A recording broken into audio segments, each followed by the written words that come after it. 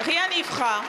Ni les 47 ans, les 44-3, les 49-3 à répétition ni les arrestations et gardes à vue arbitraires pour étouffer la contestation sous le regard alarmé et réprobateur de toutes les institutions nationales et internationales de défense des droits humains et de l'état de droit ni les grossières tentatives de diversion dans PIF, Tétu ou Playboy, ni les fumeuses consultations commanditées par Emmanuel Macron pour, je cite, bâtir un programme de gouvernement et un programme législatif neuf mois après être arrivé au pouvoir.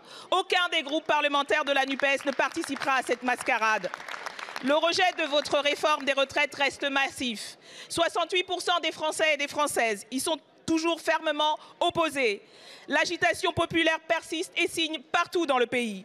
Les étudiants et étudiantes de Nanterre, Dauphine, la Sorbonne, Paris 8, Versailles, Cergy et Sciences Po en Ile-de-France, mais aussi Lille, Pau, Nice, Poitiers, Toulouse, Grenoble, Tours, Bordeaux, Caen et Nantes sont entrés en lutte les blocages continuent. Hier, c'était le périphérique de Nantes. Ce matin, quatre trams grenoblois, la base opérationnelle Enedis d'Arcueil et celle du site de Brive. Ceux de l'usine de traitement des déchets d'ici les Moulineaux et du centre technique de Rézé sont toujours en cours. Malgré les réquisitions, des grèves sont reconduites ou annoncées dans plusieurs secteurs.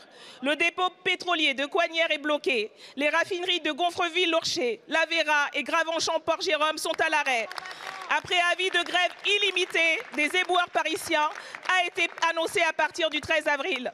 Gloire aux grévistes. Nous ne lâcherons rien.